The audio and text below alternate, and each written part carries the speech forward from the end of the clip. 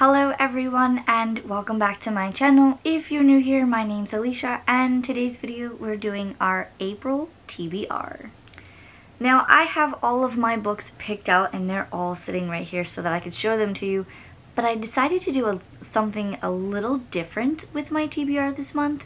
So this month I've already put the books in order on how I plan on reading them. And what I did is I decided to just go with the smallest page count to the biggest page count. So without further ado, let's see what books and what order they will be read in. So the first book I have on my list, I have been told that I need to read this to see if I like it, and that is The Foxhole Court by Nora Skakavik. I don't know if I'm pronouncing that last name right. Sorry if I mispronounced it.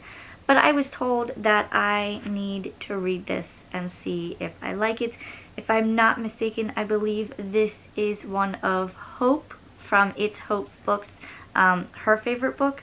So we're going to read it and see what, what, what we think.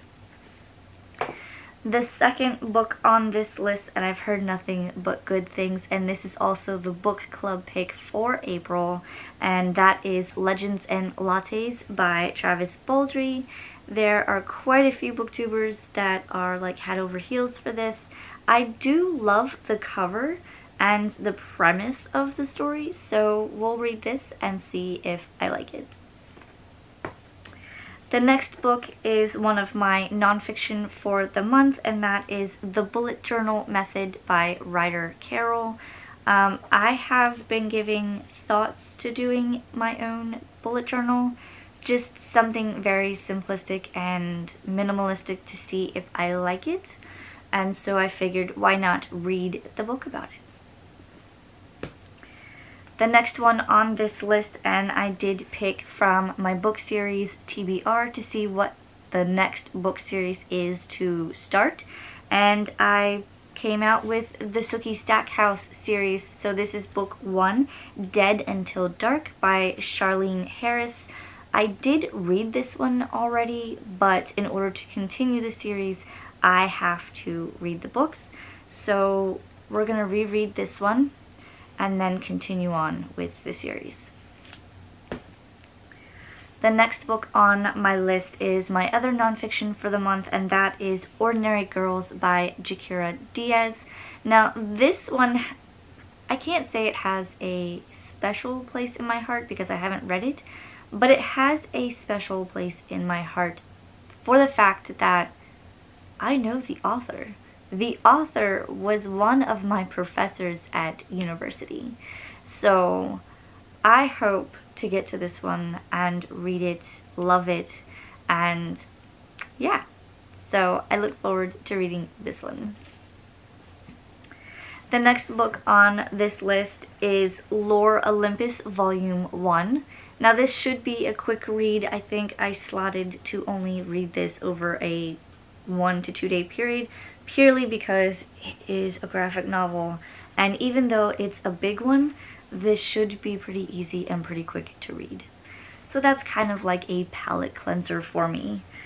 The last two books, the first one will be finishing out a series for me, and that is The Ballad of Songbirds and Snakes by Suzanne Collins.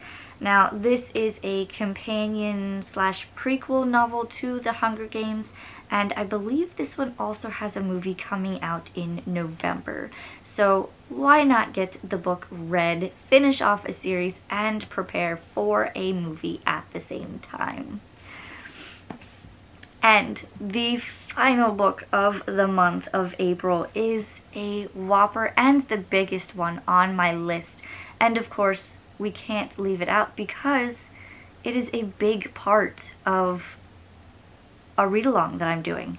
So, without further ado, the last book on my TBR this month is Court by Tracy Wolff.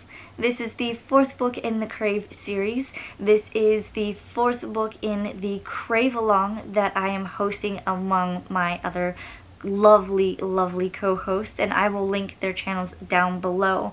But we are going to be reading, annotating, tabbing, discussing all things court this month. The links and everything will be in the description again, like I said. And I believe we have yet to determine the um, discussion date. It's usually the last Saturday of the month, but I will have all the information once that is updated.